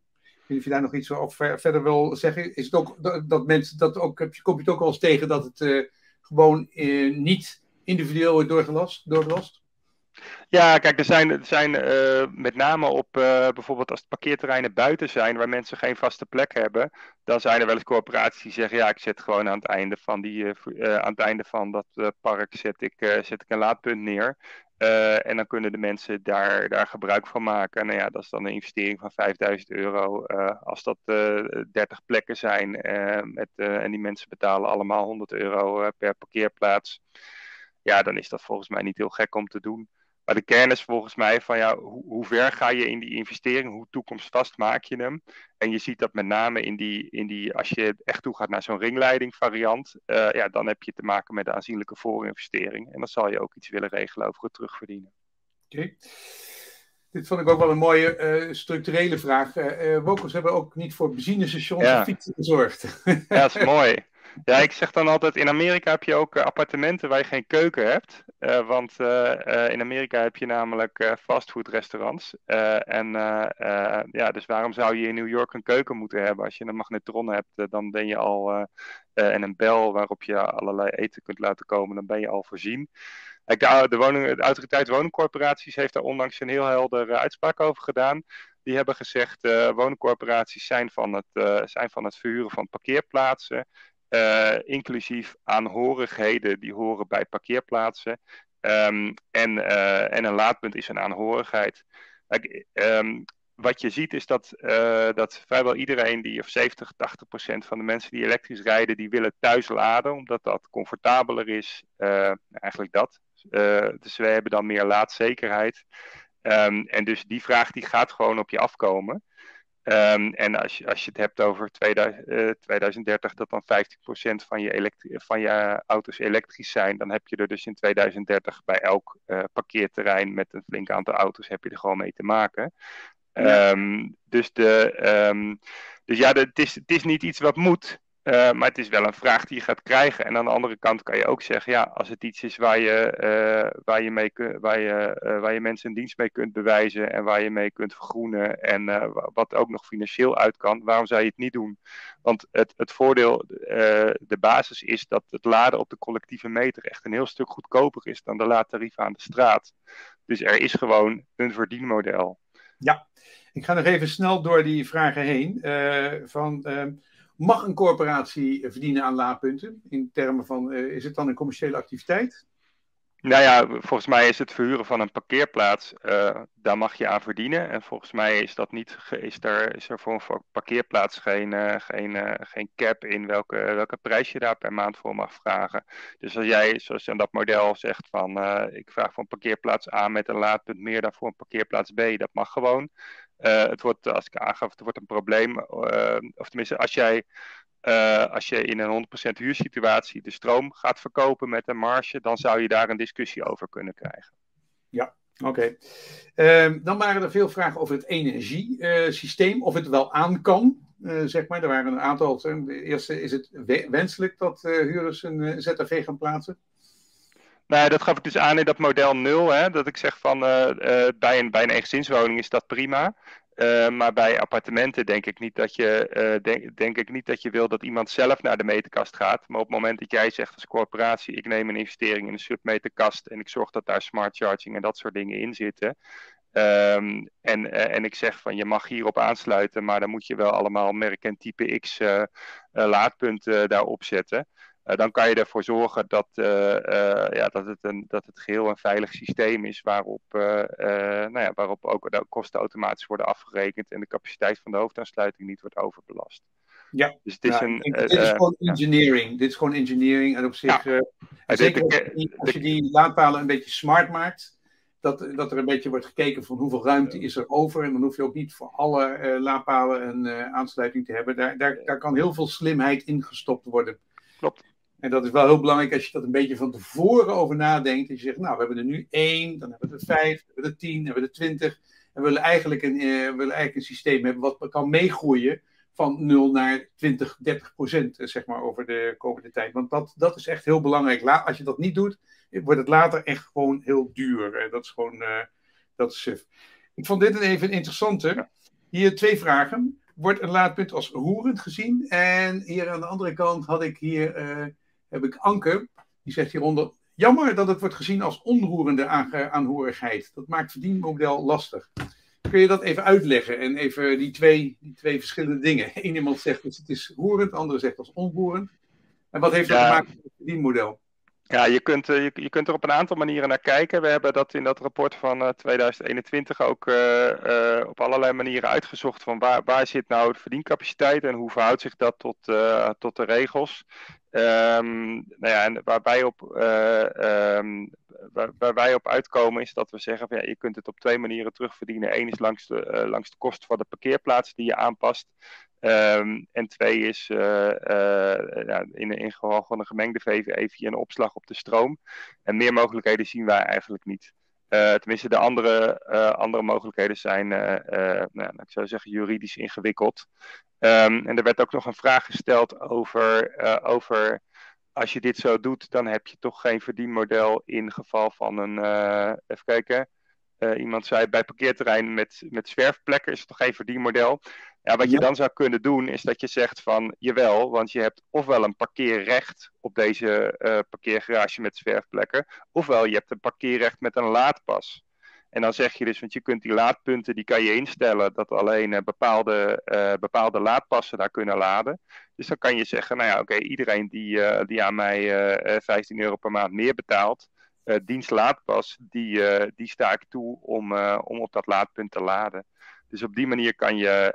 Um, maar goed, dan, dan, dan, dan ga je dus nogmaals uit van dat gebruiker betaalt uh, principe. Ik denk zelf als je 80 zwerfplekken hebt en je zet daar twee laadpunten neer. Um, ja, en dat komt gewoon de verhuurbaarheid van je parkeerterrein ten goede. Uh, ja, is dat dan iets wat je individueel moet afrekenen? Um, ondernemerschap, ja, bij, uh, ondernemerschap bij de parkeerplaatsen, bij de ondernemers. Ja, goed. Ja, er, er zijn, er zijn, uh, zijn verschillende. maar dus wat ik wil zeggen is: van, je, je kunt een heleboel kanten op. En de basis is vooral van hoe ver ga je in het faciliteren. in welke situatie en, um, ja, en, en welke investeringen wil je in welke mate terugverdienen. Ja, ik wil nog even één vraagje jou geven die een beetje erbuiten valt. En dat is, wat dat vond ik toch wel erg sympathiek. En dat gaat over, uh, heb je nog tips voor uh, het, het uh, laden van elektrische fietsen en scootmobielen in, in appartementencomplexen? Want... Ja, daar, is wel, er is wel een en ander, dat is echt een, echt een heel ander vraagstuk. er is wel het een en ander over geschreven. Um, nou ja, uh, van het laden van elektrische fietsen is. is uh, ja, ik, ik heb daar echt geen verstand van. Um, maar bij elektrische fietsen is het volgens mij zo dat die accu eruit kan en mee naar boven kan worden genomen. En dan gewoon in een stopcontact kan worden opgeladen. Um, dus uh, nou ja, dat is eigenlijk al het antwoord. Dat is misschien niet de meest comfortabele optie. Um, scootermobielen heb ik geen verstand van, maar ik heb wel eens iets voorbij zien komen van dat de brandweer daar ook allerlei gedachten over heeft. Uh, ja, wat wel relevant is, is dat het om, om hele andere vermogens gaat die, uh, die je oplaadt. Um, dus daarmee is de, is de impact wat minder groot. Maar ik heb ook wel eens situaties gezien met scootmobielen met accu'tjes ertussen. En ja, situaties waarvan ik me afvroeg, is dat nou brandveilig en is dat nou wat je moet willen? Um, maar in principe is, dit een, uh, is dat een andere tak van sport. Nee, dat is ook zo. Ik wou in dezelfde garage. Ja. Ik wou je gewoon even de gelegenheid geven. Maarten, ja. Wij zien je zo meteen terug bij het panel, want er staan nog bakken met vragen. En men wil gewoon concrete voorbeelden hebben. En dat is ook uh, de bedoeling eigenlijk. Maar ja, bij degene die het eigenlijk al eens een beetje heeft uitgeprobeerd, daar komen we nu. En dat is uh, Paul uh, Tuyp en, van Imeren, mijn woningbouwvereniging hier, zeg maar, in Amsterdam om de buurt. En ja, iedereen wil gewoon weten eigenlijk hoe, het nou, hoe je het nou werkelijk gedaan hebt, Paul. Dus daar gaan we nu over praten. Dan, en dan zie ik Maarten zo meteen terug bij de uh, bij de paneldiscussie. En uh, nou, Paul, vertel, hoe heb jij het uh, aangepakt met Emir? Dankjewel, Vincent. en dankjewel ook, Maarten, de voorgaande sprekers. Elinore ook. Want zonder hun had dit ook nooit tot stand gekomen. Ehm, maar goed, mij is de vraag gesteld van hoe hebben jullie het nu aangepakt? Beleidsmatig in ieder geval, bij Emeren. Want wij zijn inderdaad die grote corporatie. Ik heb mijn contactgegevens maar even neergezet. Mocht er na afloop toch iets niet zijn beantwoord of niet duidelijk zijn, neem contact op. We gaan verder. Ja, nog heel even, want uh, IJmeren, voor wie het niet kent, we zijn best wel groot. Met, uh, Maarten had net ook al iets staan op zijn, op zijn slides. Maar in totaal 83 83.000 verhuureenheden en 72.000 zelfstandige woningen. Nou ja, op zich niet zo heel belangrijk, de details. we zijn groot. En dus hebben we het te maken met elektrisch laden. Want we hebben ook uh, bijna 200 complexen, dus met parkeervoorzieningen. Grofweg even 50-50 uh, in VVE's, uh, iets meer in VVE's en nog een aantal voor volledige huurcomplexen. En ja, voordat wij over beleid nadachten, uh, zijn er al huurders geweest, of nou eerlijk gezegd meer eigenaren in VVE's, die uh, al wel dat lijntje hebben getrokken naar de meterkast. En die dus al wel met hun, uh, hun eigen, soms houtje-touwtje oplossingen zijn gekomen om hun auto maar te kunnen laden. Ja, dat is gewoon een gevaar. Dus al zegt de autoriteit ook van je moet het eigenlijk wel doen. er zijn ook echt redenen in je parkeergarages zelf waarom je zelf als corporatie aan de slag wil met laadoplossingen. En natuurlijk willen wij dat ook veilig doen, toekomstbestendig, betaalbaar. Um, maar dat zal jullie niet verbazen. En, en, want er zijn ook medewerkers die ermee te maken krijgen, die het moeten gaan uitleggen, die ermee aan de slag moeten. Uh, aan mij is dus gevraagd van maak, maak beleid. Nou, gelukkig kwam Maarten langs en kwam, uh, kwam de gemeente Amsterdam langs om, om, om een initiatief te starten om tot dat beleid te komen. En aanvullend werd mij dus gevraagd van maak het eenvoudig, helder en laat, probeer in ieder geval het geen extra belasting te, te laten zijn voor de organisatie. Dus uh, vooral administratief en, en uh, technisch. Het moet allemaal een beetje overzichtelijk blijven voor onze eigen medewerkers. Bijna een onmogelijke opga opgave, zou ik haast zeggen. Maar we zijn ermee aan de slag gegaan. Ja, en even uh, randvoorwaardelijk. Het is natuurlijk al voorbij gekomen. Je moet het juridisch goed regelen. Um, het, het, veiligheid, het, veiligheid is belangrijk en het gaat er met name om brandveiligheid. Toekomstbestendig. Hè? Je wil niet iets aanleggen waar je later weer spijt van krijgt. En het moet dus betaalbaar, exploitabel zijn. Dat heb ik net eigenlijk ook al gezegd. En ja, die twee, laten we zeggen, relatief eenvoudige zaken over nieuwbouw, neem het meteen mee. En dat er mogelijkheid moet zijn om een zelf aan te brengen voorziening is. Dat kan allemaal als je uh, daar ook maar een paar eisen aan stelt, waardoor het ook weer veilig en betrouwbaar blijft. Zie dat er wat overlap is. Even een schemaatje. Jullie zagen bij Maarten net ook al een aantal van dit soort stroomschema's voorbij komen. Maar deze zijn met name bedoeld om het voor onze eigen medewerkers ook duidelijk te maken. Als het gaat om brandveiligheid. Wanneer weet je nou wel of wanneer weet je nou niet dat het brandveilig is? Nou, daarvoor hebben we dit soort schema's gemaakt, zodat ze dat eenvoudig kunnen doorlopen.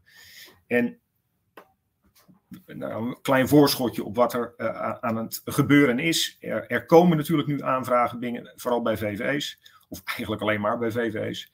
En daar worden onze account managers dan opgezet en die kunnen dit schema dan goed hanteren. Blijkt al in de praktijk om te kijken wat er moet gebeuren in zo'n garage. Dus dit is even een, een, een, voorbeeld van hoe je het inzichtelijk kan maken voor je eigen mensen.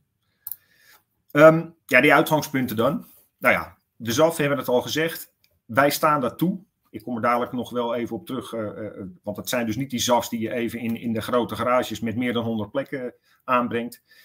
En eigenlijk zeggen we ook nu vooral, schakel nog een, een, een erkende installateur in, die we kennen, waarvan we weten dat die kwalitatief goed werk levert. En zorg dat die, die, die voorziening aanbrengt. Nou, nieuwbouw en hoogniveau renovatie trouwens, waarbij het om meer dan 20 parkeerplaatsen gaat wij hebben ons PVE aangepast en wij willen dus die toekomstbestendige laadvoorzieningen aan kunnen brengen bij nieuwbouw. En nou moet ik bekennen dat ik net ook al hoorde van Maarten van je kunt dat doen door gewoon loze leidingen aan te leggen en je kan de kabel al trekken. Ik heb me laten vertellen dat er ongeveer drie varianten zijn. Inderdaad, lege leidingen, loze leidingen eh, en, en volledig eh, eh operationeel maken van uh, de aansluitpunten. Nou wat, wat we nu hebben, dat zit er ergens tussenin. Um, dus er ligt wel een leiding, maar je moet nog steeds iets aanbrengen om ook echt op te kunnen gaan laden. Misschien dat Maarten daar dadelijk nog uh, iets over kan, uh, over kan toelichten. En daarom hebben we punt 3 er ook bij staan. Ik ben ook maar een simpele adviseur uh, die, die van heel veel verstand heeft, maar van heel weinig echt verstand heeft, om het zo maar te zeggen. En we hebben het hier natuurlijk toch over een niche. Het, het, is, ja, je kan zeggen dat het een kerntaak is van een corporatie, maar we hebben toch echt andere prioriteiten, zou ik haar zeggen. Dus ze zijn echt wel afhankelijk van specialisten op dit terrein. En daarom werken wij toch ook eh, met, eh, met Maarten Korpelijn en adviseurs die hij weer kan inschakelen. En we willen ook toewerken naar ja, wat wij dan noemen co-makers, uh, partijen waarmee we langdurige samenwerking kunnen aangaan om uiteindelijk laadpunten te kunnen installeren en exploiteren. En we zijn inmiddels van start met pilots. Nou ja, pilots, het is bijna work in progress, hè, want we kregen zoveel aanvragen in zoveel verschillende garages. Uh, maar nu zijn we, nou ja, eigenlijk via het stappenpan uh, van ons eigen beleid, zijn we die pilots nu aan het, aan het uitvoeren in, uh, in twee garages. En daaronder staat nog het brandveiligheidsbeleid. parallel aan het hele traject rond de invoering van het beleid rond laadpunten, zijn we gestart met een inventarisatie dat, dat geldt voor ons hele bezit, maar ook voor de garages. Om te kijken waar we nog onveilige situaties hebben, zodat we die meteen kunnen oplossen. En dat we ook weten dat we bij die garages ook klaar zijn voor de toekomst om daar laadpunten te kunnen installeren. Ja, en dan de hamvraag bijna, van hoe laden we dan? Uh, wat moet het in de praktijk worden? Nou, we maken inderdaad onderscheid naar het aantal plaatsen wat er beschikbaar is.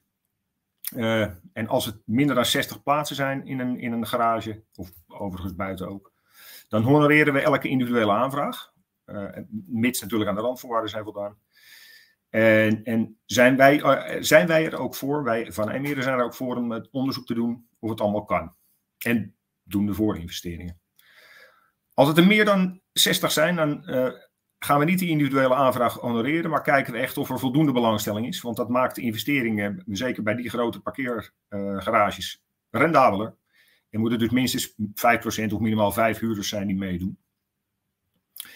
Ja, en dan de, de, de varianten die uh, Maarten net, heeft uitgelegd. Um, we hebben de, de, de, kleine voorzieningen met minder dan 20 plaatsen. Wij hebben nu staan dat de kosten naar de individuele aanvrager gaan. Uh, dat heeft wel een afschrik-effect, want we hebben inderdaad gemerkt dat wanneer je dan als eerste bent, dan moet je toch wel wat uh, kosten voor je rekening nemen. Uh, en overigens, kijk, we hebben nog steeds voor dit soort kleine voorzieningen hebben we helemaal geen aanvragen liggen. Dus misschien dat wij hier zelf ook wel wat in moeten doen. Dat, daarom zijn we ook bezig met pilots en leren we zelf ook nog. Als het gaat om voorzieningen die dus groter zijn dan die 20 parkeerplaatsen, dan moeten we nog even goed kijken of we geen, zoals wij dat noemen, gekoppelde contracten hebben. Dus waar uh, de huur van de woning gekoppeld is aan die van de parkeerplaats. Overigens hebben we daar ook weer apart beleid voor en proberen we dat zoveel mogelijk los te koppelen van elkaar, om maar flexibel genoeg te zijn. Um, maar zo, zodra die gekoppelde contracten er dus niet zijn, gaat de voorinvestering naar ons of naar de VVE. En dan krijg je via een laadpas de verrekening van de voorinvestering. Ik hoorde ook, dat staat hier niet met zoveel woorden in. En we willen er natuurlijk niet aan verdienen, maar we willen ook niet leeglopen op dit soort voorzieningen. Dus in principe kijken we naar een soort kostendekkende oplossing. En wordt er eigenlijk altijd gekeken naar een opslag op de, uh, op de huur. Uh, op de laadpas, een soort laadpasabonnement krijg je dan. Dus niet de verrekening via een hogere stroomprijs, maar een verrekening op de laadpas die ervoor moet zorgen dat we uh, kiet kunnen spelen. Zeg ik even hoog over. Ja, en bij die grotere plaatsen, daar willen we echt naar een collectieve oplossing. Echt toekomstbestendig dus, dat je niet steeds opnieuw iets, iets, iets hoeft aan te leggen. Um, wij dachten eerst dat je dan altijd een volledige ringleiding moest aanleggen in een garage, maar dat blijkt ook een deel te kunnen zijn. Dat lijkt echt interessant te zijn. Uh, en, en, hiervoor geldt hetzelfde. Voor investering naar ons of naar de, of naar de VVE. En via de laadpas kunnen we uh, een stukje terug verdienen. Ja, en de variant waarbij we parkeerplaatsen opofferen, dat is bij ons afgeschoten. Niet omdat we niet op een paar plekken ook te maken hebben met leegstand, maar daar waren allerlei bezwaren. Ook het, het, het, het kleven aan de plek of aan de laadpaal. Dat vonden we allemaal wat ingewikkeld. Dus we hebben die overgeslagen. En hiermee kom ik aan het einde. Ik heb niet een mooie afsluitende dia gemaakt, moet ik bekennen. Um, dus dit is even hoe het laden er bij er nu uitziet. Heel goed. Veel voorbij gekomen. Ja, dus uh, wat dat betreft, iedereen die uh, had ook een hele hoop, uh, hoop, vragen. En het eerste is van, heb jij een beleid wat jij op papier hebt? Zo lekker met een stekkertje doorheen en zo. En wat je ook zou kunnen delen, Paul? Ja, dat is er, hè. Dat is er. En kun je dat ook delen met deze groep? Natuurlijk. ah, oké. Okay. Nou, En alle, iedereen die ook even zegt van joh, met de link die je nu hebt kun je ook het, uh, het webinar weer opnieuw bekijken. En we gaan ook zorgen dat of je krijgt een e-mailtje met alle links naar de presentaties. Of je krijgt ook, uh, of, um, uh, of ze komen hier gewoon eigenlijk onder te staan als, bij de beschrijving. Dus dat kan ik ook in ieder geval, kan ik in ieder geval doen. Um, ik had ook hier Paul. Veel garages met gespikkeld bezit. Dat moet je mij even uitleggen. Als, uh, dat is natuurlijk bij jullie een volkomen normale term. Wat, wat is gespikkeld bezit? En hoe ja, ga je daarmee om? Er zitten eigenaren en huurders door elkaar. Ik denk dat dat gewoon ja, is bedoeld. En dus ook garages inderdaad. Of garages. Ja, de, de, de, de, de parkeerplaatsen zijn dan uh, gespikkeld. Mm -hmm, ja. En hoe ga, je daar, uh, hoe ga je daarmee om eigenlijk? Dat de ene als het, het is dus niet zo van dat ze allemaal keurig netjes hier is de, de VVE en daar zitten jullie. Oh, dat, dat, dat zit allemaal door elkaar. Hoe is dat? Ja, nou ja, ik moet zeggen dat de twee pilots waar we nu mee werken, daar zien we wel dat er een, een, een, een harde scheiding is tussen waar onze parkeerplaatsen zijn en die van de VVE. Dus dat maakt het ietsje makkelijker. Um, als het echt gespikkeld is, um, nou ja, kijk, wij kijken dus echt weer naar de grootte van die garage. Als er dan een, een, een, een eigenaar is die wil laden. Ja, en dat komt uiteindelijk allemaal in de, in de vergadering van de VVE terecht. Dan pleiten wij ervoor, als we niet een volledige meerderheid hebben, maar dan pleiten we ervoor om toch die toekomstbestendige oplossing te kiezen waar iedereen eigenlijk aan meebetaalt. Daar komt het wel op neer. En dan maakt het niet zoveel uit hoe gespikkeld het is. Er is doorgaans dan toch echt een, een aansluiting te vinden voor eigenaar of huurder. Oké. Ik heb Maarten er even bij gehad. Als hij iets wil aanvullen, dan uh, kan hij dat doen. Uh, deze, de, de BBL, de op, opvolger van het bouwbesluit, zijn er diverse regels betreffende het laden van EV. Heb jij je daar uh, als woningcorporatie in moeten verdiepen en hoe pak jij dat aan?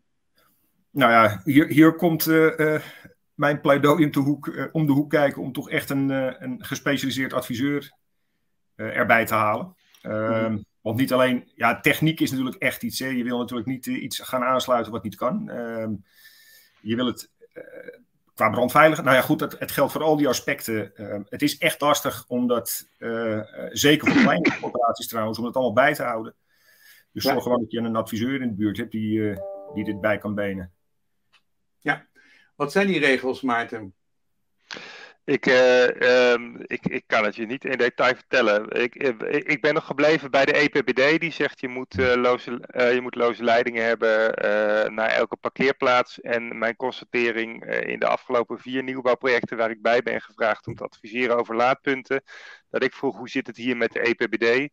En, uh, uh, ja, en de constatering dat het gewoon niet geregeld was. Dus dat de aannemer zegt wij bouwen volgens het bestek en daar staat het niet in. Uh, waarop ik zei ja is leuk, alleen je hebt ook een contract getekend waarin je, zult, waarin je aangeeft dat je zult bouwen volgens de geldende regelgeving. Um, ja, en dan wordt er soms gezegd van we maken een, een hele grote loze leiding van de hoofdmeterkast naar elke parkeerverdieping. Maar ja, daar ben je natuurlijk nog lang niet op elke plek. Dus als je niet in de betonvloer die leidingen meeneemt uh, en ook geen, uh, ook geen ringleiding maakt, ja, dan voldoe je gewoon niet aan de regelgeving. Dus, ja. dus ik, ik, ik neem er, uh, ik neem er kennis van dat de regelgeving op nieuwbouw zich verder ontwikkelt. Maar ik constateer met enige zorg, één, dat dat de bestaande regelgeving al niet, uh, al niet gevolgd wordt door aannemers.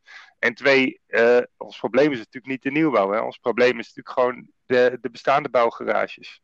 Uh, die soms ook nog 30 jaar oud zijn en sowieso al een issue hebben met brandveiligheid voor fossiele auto's. Uh, ja, dus dat is een. Ja, ik, dat is ook, ik had dus ook begrepen, de brandweer die doet er echt, die, is, die is vol enthousiasme als de brandveiligheid van de garage niet goed is. En je komt dan aan met een, uh, met een laadpaal, dan willen ze meteen gewoon het hele zaakje regelen. Dus uh, wat dat betreft is dat wel. Uh, die, die worden heel enthousiast op het moment dat je dan met, aankomt met een verzoek over elektrisch laden en, en wat ze daarvan vinden. Ja, je, je ziet een beetje dat de discussie over. kijk, we hebben, we hebben parkeergarages van 30 jaar oud. die destijds gebouwd zijn op, op, de, op, de, op de lelijke eet die mijn moeder reed. Um, nou ja, tegenwoordig uh, zijn fossiele auto's veel groter en bevatten veel meer plastic, uh, et cetera. En dus zegt de brandweer, ja, eigenlijk moet je, uh, omdat het wagenpark is veranderd, al die garages upgraden. Dus er zijn allerlei verbeterprogramma's voor. En die, um, en uh, alleen in de media lijkt het soms alsof alleen een elektrische auto een, een, een heel gevaarlijk ding is. Uh, dat is ook, uh, ik zal daar ook, dat komt ook in die beleidsdocumenten die we, die we delen, komt dat ook aan de orde. de brandweer zegt nee, dat is eigenlijk niet waar. Hè. Als je een elektrische auto, die, die is niet brandgevaarlijker dan een conventionele. Het enige is dat als die eenmaal gebrand heeft, dan wil je hem eruit slepen, zodat die niet opnieuw kan ontvlammen. Um, maar het is niet zo dat, uh, uh, dat de elektrische auto's een groter risico zijn dan, uh, nee, die zijn dan conventionele. Die, die zijn aanzienlijk minder. Maar überhaupt, alle auto's tegenwoordig die branden gewoon oneindig veel minder. Het is echt gewoon van factor 10 gedaald. Dus wat dat betreft is het wel leuk waar je even op, op gaat focussen. Dus, nou goed, we zien jullie zo meteen zien we jullie terug um, bij het panel.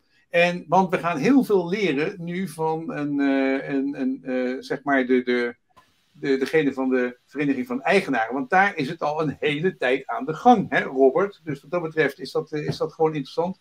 En daar heb je ook flink A, heb je combinaties van VVE's en woningcorporaties. En ten tweede hebben jullie al heel erg veel eraan gedaan. Dus uh, vertel eens even hoe dat, hoe dat zit. Bedankt Paul en bedankt Maarten. We zien jullie zo meteen terug. En dan is dit volgens mij jouw slide. Ja, ja dat klopt. Dankjewel Vincent. Nou, de Vereniging Elektrische Rijders gaat het om. Uh, voor degenen die ons nog niet kennen, wij zijn een vereniging opgericht in uh, 2015 volgens mij.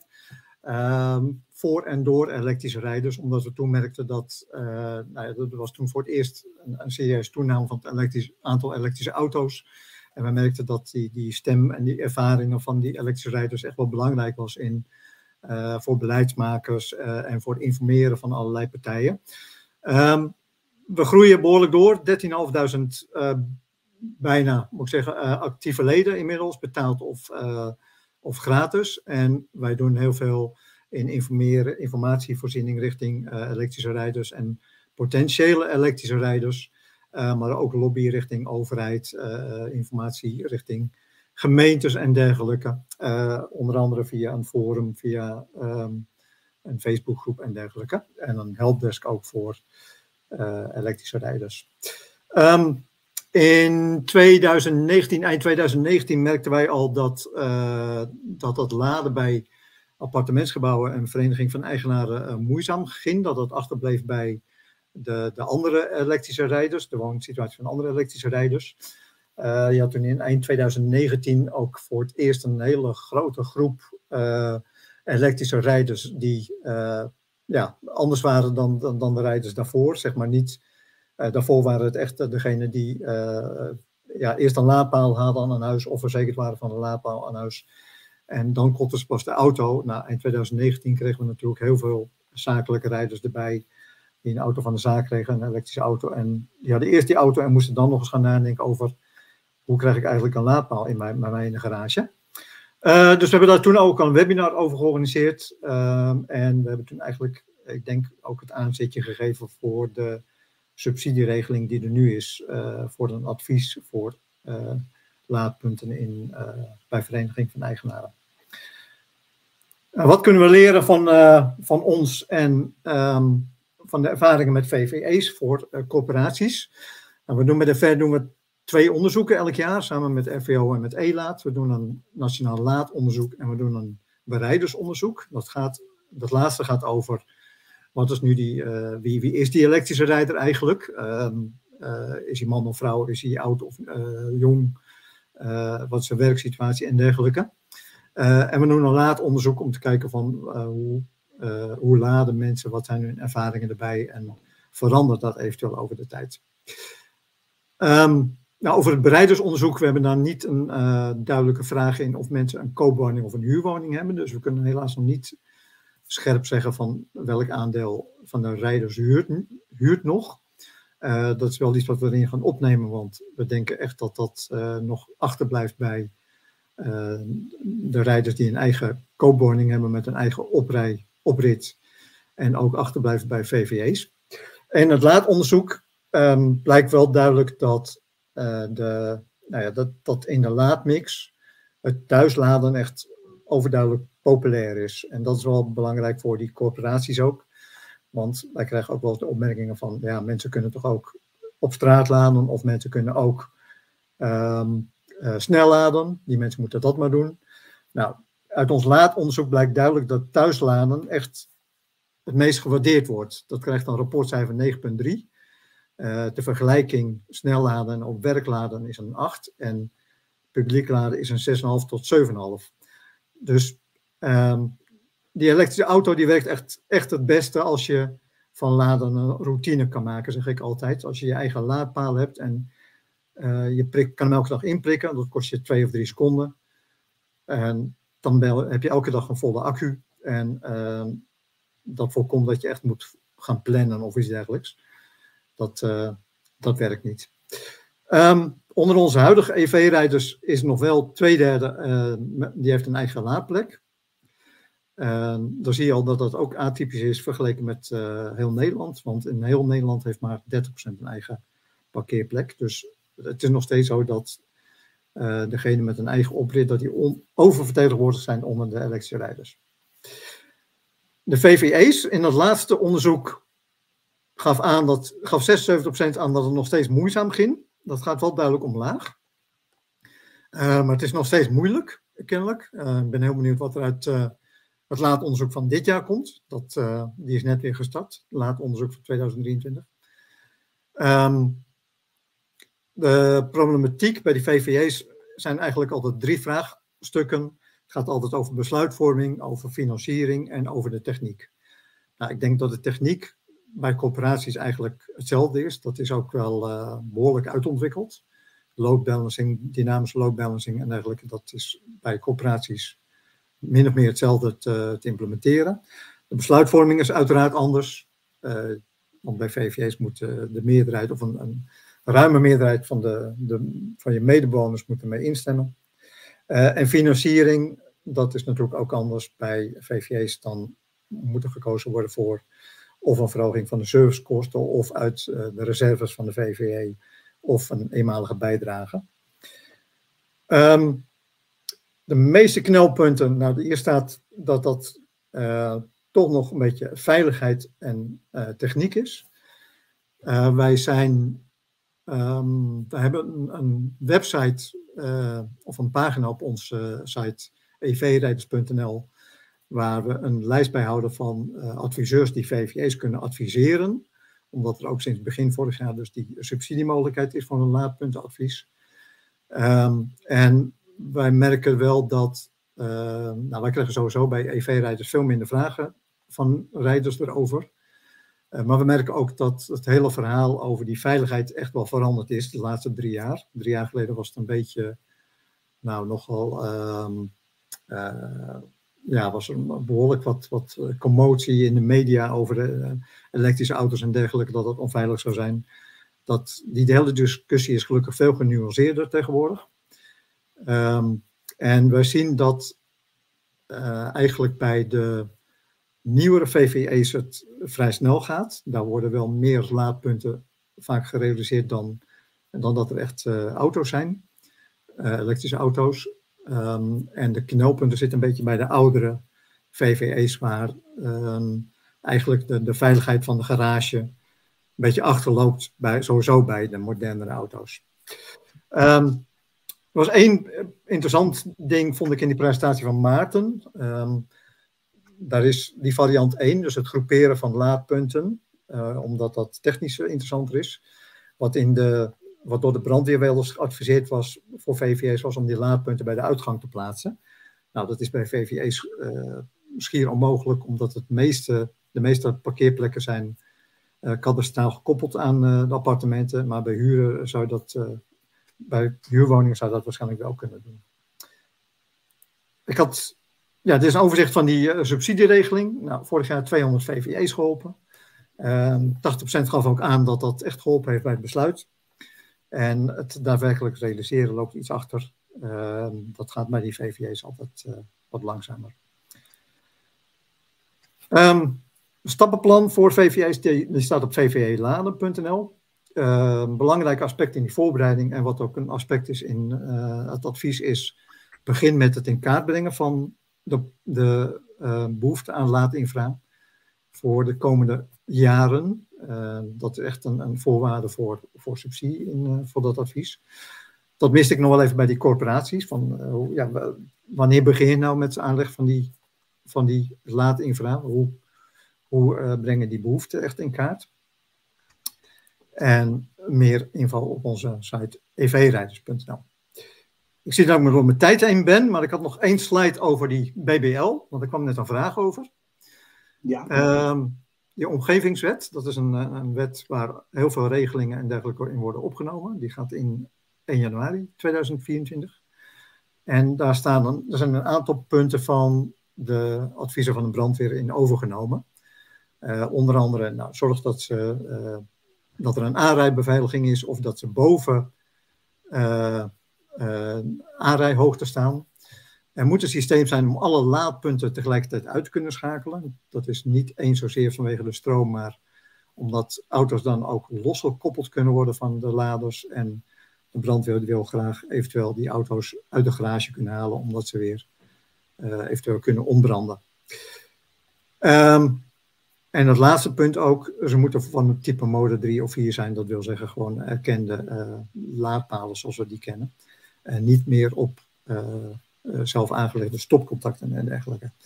Dus wat dat betreft adviseren wij bij de, bij de VER ook altijd wel van ga voor een collectieve oplossing. Uh, laat niet toe dat uh, bewoners zelf een laadpunt aan gaan leggen. Uh, dat is interessant vanwege de initiële kosten, maar ja, dat is niet, niet een, een, goede toekomstbestendige oplossing. Oké.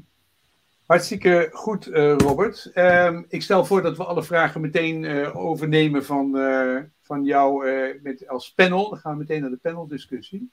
Dus dan ga ik eventjes iedereen er weer eventjes bij halen. En Paul, het spijt me dat ik jou op een gegeven moment had geblokt.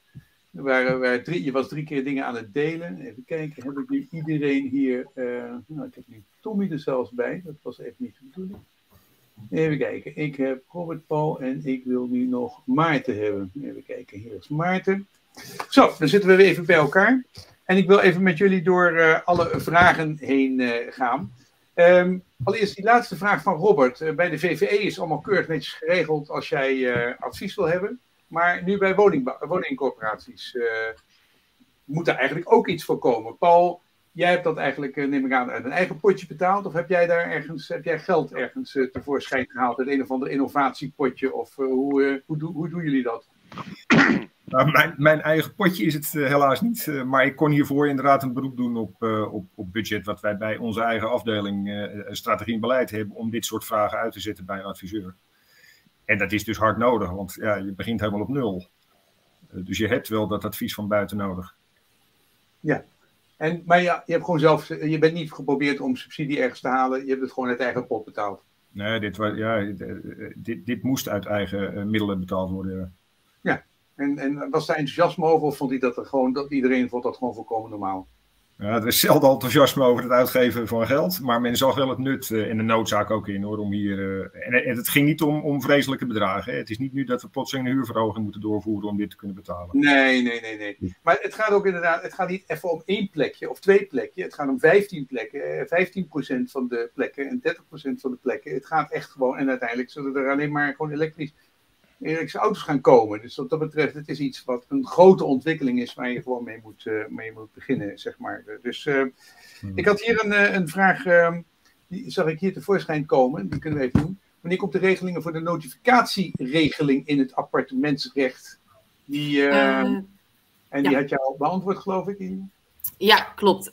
die is al een keer uitgesteld. Um, dus die gaat op 1 januari 2025 naar verwachting in. Uh, dus dat duurt nog wel even. Dus er is alle tijd om daar nog op voor te bereiden. Maar die is inderdaad uitgesteld. Die zou eerst op 1 juli komen, maar dat, uh, dat is niet meer zo. 1 juni, maar dat is niet meer zo. Nee, vertel eens even voor mij, wat is die notificatieregeling? Uh, ja, die notificatieregeling is dus dat bij VVE's um, de huurders alleen nog maar een, eigenlijk een notificatie hoeven te geven dat ze een laat plek oh, ja. willen, laten willen. Ja. Um, ja. en dat VVE's dat niet meer kunnen weigeren. Ze kunnen wel bepaalde uh, eisen stellen, bijvoorbeeld aan uh, dat er wel iets van een, uh, een plan, een idee is. Um, nee. Maar dat is de notificatieregeling. Ja. Nee, heel belangrijk. Nee, bij het vorige webinar ook over. Eleonore zei, Eleonore zei huurders, maar dit, dit gaat over een recht van eigenaren. Hè? Dus dit betekent dat, ja, dat, dat, dat, dat, dat eigenaren, dus de corporatie, al dan niet namens een huurder of een, een individuele eigenaar bewoner iets kan willen. Um, en er, is uh, discussie over, uh, over ja, wie moet dan precies wat doen. Hè? Uh, wie trekt het kabeltje en mag een, mag een VVE dan wel zeggen wat voor laadpunt het moet zijn en dat soort dingen. Is ook op gereageerd op de conceptwetgeving door EDES en een aantal EDES branchevereniging, woningcorporatie en een aantal corporaties. En die, die zeggen eigenlijk alle vier, drie corporaties en EDES zeggen onafhankelijk van elkaar alle, alle vier hetzelfde. Namelijk als de corporatie nou een goed plan heeft, uh, of de VVE een goed plan heeft, dan zou dat toch leidend moeten zijn. Um, uh, nou ja, en dan is natuurlijk ja. de vraag: definieer een goed plan.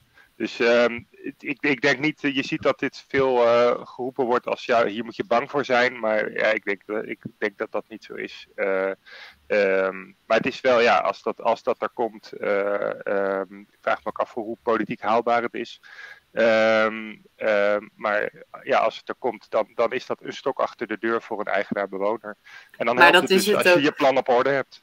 Ja, ja, ja. dat is het vooral. Um, ja, als je gewoon alvast een plan gaat opstellen, proactief hierover gaat nadenken, dan is eigenlijk ook die notificatieregeling geen, ja, heeft eigenlijk nauwelijks invloed, om het zo maar te zeggen. Ja. Oké, hey, even voor mijn gevoel, is dat, is dat is dat hetzelfde als, de, uh, is dat hetzelfde als die BBL-regeling? of is dat uh, is iets, uh, want daar was ook een vraag, is die invoering 1.24, is die, is die ding? En dezelfde vraag, gaat die ook op 1.7.2023, allebei? dus daar is ook, wat is daar aan de hand, Robin? Ik zie twee vragen van dezelfde persoon met al verschillende data. Nou, ja. hij stond eerst gepland voor 1 juli en die is weer uitgesteld naar 1 januari 2024. Uh, zeker, ja, er kan, kan misschien nog iets. Maar is dat, is dat hetzelfde beleids, is dat hetzelfde nee. beleidsnaar of zo? Of zijn dat twee aparte dingen? Ja, dat is iets anders. Die BBL dat gaat over uh, uh, de veiligheid, hè, dus veiligheidsvoorschriften en dergelijke. Notificatieregeling gaat echt over de besluitvorming. Ja, ja en dat is. uitgesteld worden. Ja, en die besluitvorming, of, of, die notificatieregeling, dat is ook nog wel interessant, want dat is uh, dat EPPD werd eerder genoemd, uh, waar nu dus regels in staan over dat er uh, loze kokers en dergelijke aangelegd alvast moeten worden. Daar komt ook een revisie op. dat is het laatste punt uit die, dat hele Fit for 55-programma, voor, voor zover ik weet. Maar daar komt ook iets in te staan dat lidstaten echt wetgeving uh, moeten wegnemen die, die, die de hele besluitvorming bemoeilijkt. Dus dat, uh, en er staat echt specifiek in van, uh, in particular, the need to get consent from co-owners or landlords um, om een eigen laadpaal aan te leggen. Dus dat, ja. dat, dat, wordt ook een Europees voorschrift. Ja. Um, had ik even nog een vraag, die hebben eigenlijk denk ik misschien wel beantwoord, maar een laadpunt wat aangelegd is in een corporatie, maar publiek toegankelijk. Uh, is dat ook, uh, of voor Maarten, is dat, uh, is dat is daar nog een, is daar nog een andere... Die, die, kan, die, kan ik, die kan ik wel beantwoorden. kijk, in de regels zijn parkeerterreinen van woningcorporaties en VVE's zijn fysiek afgesloten voor derden. Um, ja, punt. Dus het is niet de bedoeling dat derden daar, daar gaan parkeren, laat staan laden. Um, en je zou dat dus, uh, nou ja, in het geval dat een parkeerplaats niet fysiek is afgesloten, zou je dit nog kunnen ondervangen door te zeggen: ik ga alleen de, uh, ik ga alleen de mensen die in mijn, uh, ja, die erbij horen, die ga ik hun laadpassen ga ik toe, toegang geven. Dus dan zet je die laadpassen op een zogenaamde whitelist. Dus dan kan je het ook nog fysiek op het laadpunt regelen dat alleen de mensen ja, die jij kent ja. met het goede pasje kunnen laden. Daar ja, word, je en... blij van. Daar word je niet blij van. Dat is, uh, nee, maar, dat, kijk, maar Paul, ik denk, dat, ik denk dat 90% van jouw parkeerplaatsen fysiek zijn afgesloten voor derden, toch? Nou ja, toevallig de twee kantoren waar ik het meest... Dan heb je het over kantoren inderdaad. Daar, ik bedacht even dat dat... Dat is toch duidelijk iets anders. Maar ik denk dat...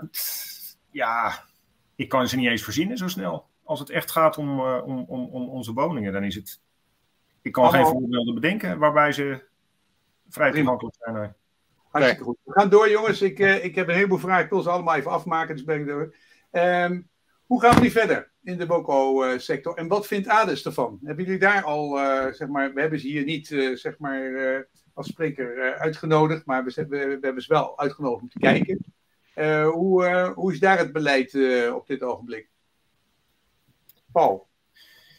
Ja, goede vraag. Uh, uh, uh, volgens mij wordt er nu ook echt gestimuleerd om aan de laadpunten te gaan. Het is natuurlijk niet iets wat, wat, wat, wat gisteren is begonnen en wat, wat morgen klaar is. nou ja, daarom is dit webinar ook. Dus, en en het, ja, het is groeiend. We, we zullen er wat mee moeten. Dus EDES wordt ook nou ja, gestimuleerd om hier richting zijn, zijn leden iets mee te doen. Ja. ja, kijk, Edes uh, heeft de rol dat ze dit uh, dat rapport uh, van vorig jaar, dat hebben ze verspreid onder de leden. En ze reageren dus wel op de, op de, op de, op de wetvoorstel zo, rond het, rond het, voor de notificatieregeling, dankjewel Paul. Um, maar dat is ook waar, waar het voor Edes ophoudt. Kijk, verder is het gewoon, ja, het is tot en met beleidsmodellen is het, ligt het klaar. als u daar hulp bij nodig hebt, dan kunt u mij of een andere adviseur bellen.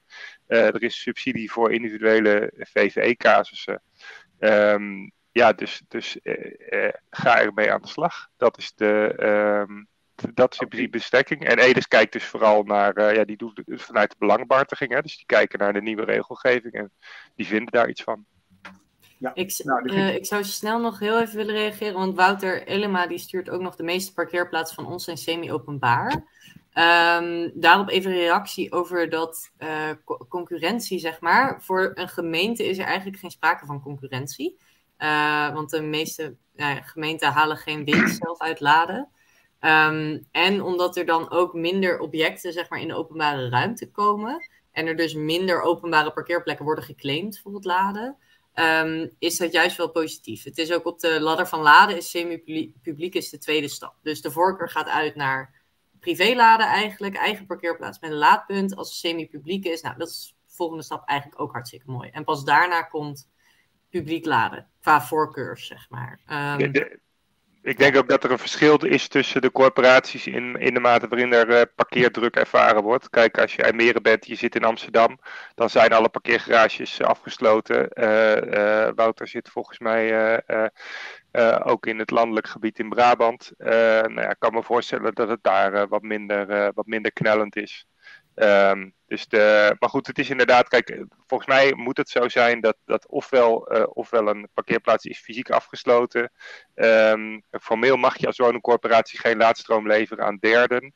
Dus je mag niet, hè, dat, dat is dan weer, dus een laadpunt plaatsen op je parkeerplaatsen, dat mag wel, maar een laadstroom leveren aan Jan en Alleman, dat mag niet. Uh, want dan ga je inderdaad concurreren met de markt. Um, dus dat zou, je moeten, dat zou je dan moeten verhinderen. Uh, en dan krijg je inderdaad, Anke zegt, ja, we willen administratieve overlast, uh, dat willen we beperken. Um, maar ook dat, ook dat kan je van je afregelen. Je hebt partijen zoals eFlux, waar je een laadpas kan aanvragen, en, uh, of waar de huurder een laadpas kan aanvragen voor een bepaald complex. En dan worden ook die kosten automatisch afgerekend. En daar betaalt de huurder dan, ik geloof, 4 euro per maand voor of zo voor het hebben van die laadpas. En dan werkt die laadpas eigenlijk als creditcard. Dus ook dat deel, uh, ook dat kan je van je afregelen als corporatie. Robert, je hebt daar vast uh, heel veel, wat doen die WV's allemaal? Nou, de meeste die, uh, die, die doen inderdaad, de verrekening doen ze met een partij zoals Evelux inderdaad. want dat is gewoon, ja, je hebt als VVE gewoon helemaal geen omkijk meer naar.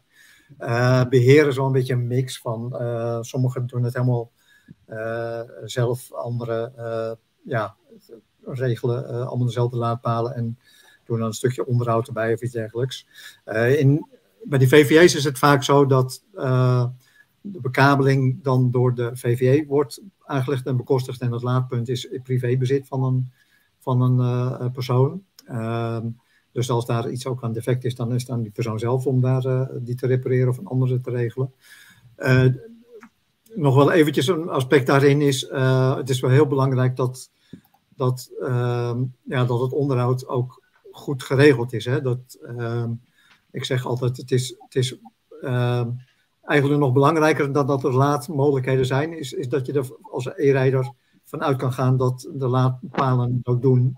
Want als, hij, als, hij, als jij denkt dat hij er is en hij doet het niet, dan kan je potentieel gewoon stranden. Dus wat dat betreft is het wel belangrijk dat, dat zo'n laadpunt er is, maar uh, niet opeens drie maanden buiten werking is of zo. Ja, Oké, okay, um, als we dan eventjes doorgaan met, uh, even doorgaan met de vragen. Dan had ik hier een vraag, even kijken. Dat was. Uh, ik weet niet wat dit is. Waarom wordt er niet gedacht aan solar carports? Weet iemand wat dat, uh, weet iemand wat, uh, wat dat is? Ja, ik zag dat degene die de vraag stelde ook toevallig een commerciële aanbieder van Solar Carport ja. um, ja, nou ja, kijk, dat is natuurlijk als je een parkeerterrein buiten hebt en uh, je hebt de behoefte om uh, meer zonnepanelen te plaatsen en dat lukt niet op het dak van het complex, uh, dan, kan, dan kan een Solar Carport een oplossing zijn. Um, maar dan heb je het over een, heb, heb, je denk ik over een klein deel van de, van de complexen. Um, en ja, dat is ja, ik, ik heb er toevallig nu twee casussen mee van mensen die iets willen. Ja, ja. ja het, is ook niet, het is ook niet dat daar niet over wordt nagedacht. Wij hebben bij uh, de ver daar ook al vragen over gekregen. Ook VVE's die daarmee bezig zijn. Ja. Oké, okay, dan, uh, dan heb ik hier nog. Oh ja, ik heb nog een andere vraagje die ik echt leuk vond. Van um, uh, voor vragen bij INB. En dat was, ik ben toch even gefascineerd Wat is die 70% regeling bij innovatie, renovatie? Dat klinkt als een hele mooie regeling. Ja, als, jij een, eh, als jij een complex renoveert, uh, Vincent, dan, uh, en je gaat daar zeker, of, of, dan ben je het gehuurde aan het wijzigen. En dan zegt de rechter dat als 70% van de, van de huurders in een complex zeggen dat ze het daarmee eens zijn, dan zegt de rechter, nou dan is dat een rechtsgeldig ah. besluit. En dat gebeurt dus bij hele grote renovaties, als de, ja, ja. het geïsoleerd moet worden en dergelijke. Ja, wat ik net aangaf is, ik denk als jij één laadpunt buiten plaatst, ja, formeel is dat een gewijziging van het gehuurde. Dus dan zou er iemand kunnen zeggen, hier had je 70% voor moeten vragen. Maar wat ik aangaf is dat dat, had die, dat, dat, dat geldt eigenlijk bij elke, ja, ook als je een armatuur verandert of je hangt een rookmelder op of iets dergelijks, dan is dat een wijziging van het gehuurde. Wat je in de praktijk ziet is, zolang je daar niet geld voor gaat vragen, Um, en dat is dus wat we willen voorkomen. Hè. We zeggen niet van uh, probeer niet de route op te gaan. Het is een onroerende zaak, dus moet hij in de huur. Dus moet er een generieke huurverhoging worden betaald. Want dan, zullen de, dan zal iedereen in het complex die nog niet elektrisch rijdt, die zal zeggen ja, uh, hoezo? Waarom zou ik daar aan mee gaan betalen? Um, dus wij zeggen van probeer het te zoeken in de bijdrage voor de parkeerplaats. Probeer het eventueel te zoeken in, uh, in de bijdrage uh, aan de stroom. En we gaan niet dat pad van die huur op, uh, nog los van dat die huur vaak al door, hoe heet het, door, door huurtoeslag en zo is beperkt. Ja. Hey, ja. Um, even de afrondende vragen, want we, we hebben beloofd om half vier te eindigen. Dus niet half vijf. dat was sommige mensen die helemaal, helemaal bezorgd waren. Um, maar dat was een autocorrect fout van mezelf. Um, even nog de laatste. Uh, gaat het goed komen met die woningbouwverenigingen, Paul? Ik bedoel, denk jij van, moet er nog een deltaplan van komen? Of heb je eigenlijk volledig vertrouwen in, dit is weer gewoon een wijziging van de samenleving waar, die woningbouw, waar de woningcorporaties zich prima op kunnen gaan aanpassen? Of, of mis jij nog iets? Wat zijn de grote drempels die jij nog ziet om op een gegeven moment te zorgen dat wij in 2030 dat zeggen, ja, die wooncorporaties hebben zich geweldig aangepast. Er zitten nu inderdaad 15% van die mensen in. En dat is eigenlijk, uh, dat, dat, dat, dat, gaat perfect. Vreselijke gewetensvraag, Vincent, dit. Uh, en, en je, je, je moet hier natuurlijk eigenlijk ook een onderscheid maken naar hoe groot de corporaties zijn. Want ik, ik vind dat wij, eh, noblesse oblige in dit geval, de grote jongens moeten het voortouw maar nemen. Die moeten dat beleid dus inderdaad verankeren en uit gaan voeren. En ik denk dat dat dus bij ons ook wel zal goedkomen. Ik denk dat wij die 15% van de huurders inderdaad wel kunnen gaan bedienen. Het zal lastiger zijn voor de kleinere corporaties, uh, waar je misschien uh, met, met twee garages uh, zit en, en niet zo snel de noodzaak misschien zal voelen om daar een investering te doen. Maar als je dan Stephanie zegt, ik kan me voorstellen, dat zijn gewoon ondernemers die zeggen, ja. laat het maar doen mogen ze dat ook gewoon uh, het laden uitbesteden? Dat je zegt, nou, onder die en die voorwaarden, je mag zelf investeren in die ring en dan, um, en dan mag je daar uh, het gewoon aanbieden als commerciële dienst. is, dat, is dat een optie voor, uh, voor kleine? Want inderdaad, om beleid te maken voor alles nog wat, is dit een heel gedoe. En ik, ik, je bent volgens mij echt helemaal niet goed bezig als je zelf administratief alles gaat regelen. Dan, dan, dan stop je je kop in een afgrijzelijke, afgrijzelijke plek. Maar is dit, uh, is dit ook een optie? Dat gewoon kleinere het gewoon kunnen uitbesteden en dat het dan geregeld wordt?